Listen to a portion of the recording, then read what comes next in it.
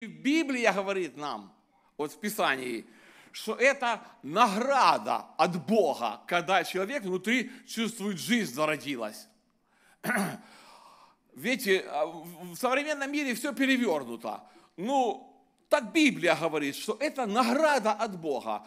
Вы прекрасно знаете, в этой стране, вот где мы живем, такая система, что едет на, на машине, и у нас на работе едет водитель или водительша, и оттуда награды выглядывают коты с собаками с этих, с, с окон.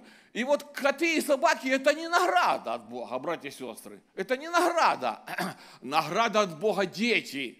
Вот недавно тут стояла семья, уезжала в, опять же в ту Саут-Каролайну. Пятеро деток, смотрю, хорошая семья. Мы благословили Рома Шуликов с женой. И пятеро деток. А я сижу за ней и думаю – а ведь это же от Бога благословение. Ну не знали бы мы Господа.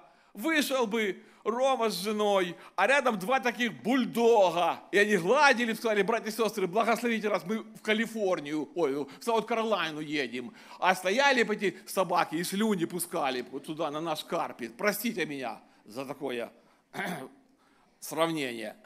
И вот, братья и сестры, когда смотришь на это все, я видел ваши лица, когда недавно вот здесь выходили эти девочки и, и